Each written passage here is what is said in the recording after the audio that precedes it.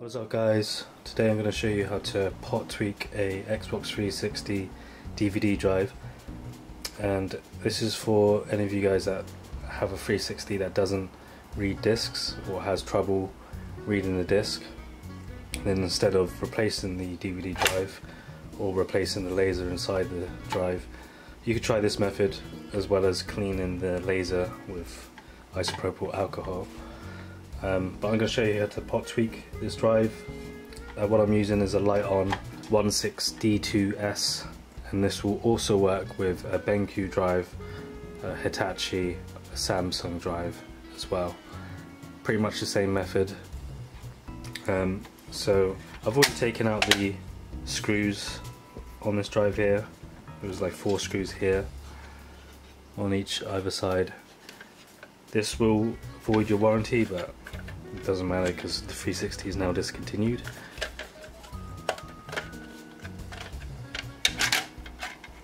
So what we do is pop the back off.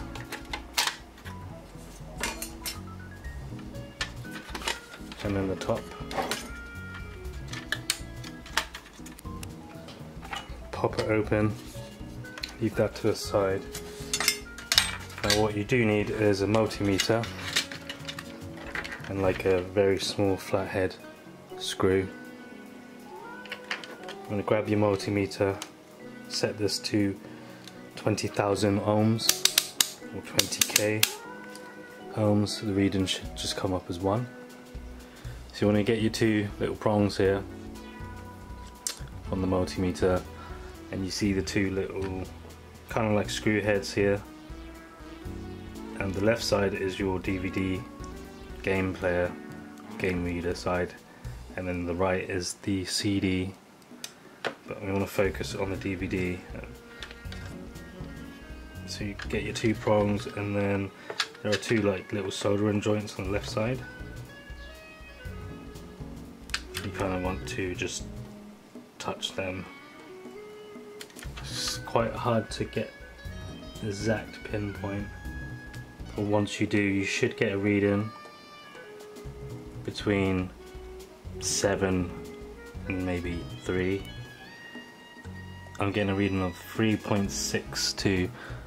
So originally, um, when I first opened this, I was getting a reading above 5 and I reduced the, the pot tweak to like just under 3. So if you first open it up and you're getting readings of 6 and 7, you you want to reduce the the value to around 4 or 4.5 if you're getting a reading between like 4 then you want to go around 3 3.5 you don't want to go any lower um, than 3 a value of 3 um, because that will burn the laser so I could tweak this down very slightly to maybe 3.5. Right, so we're going to adjust the laser now. So just, I'm using a flathead screwdriver here, a very small one. Um, you can use like a razor blade, that will also work. We just want to turn this anti-clockwise, just like a millimeter. That's all we need to do.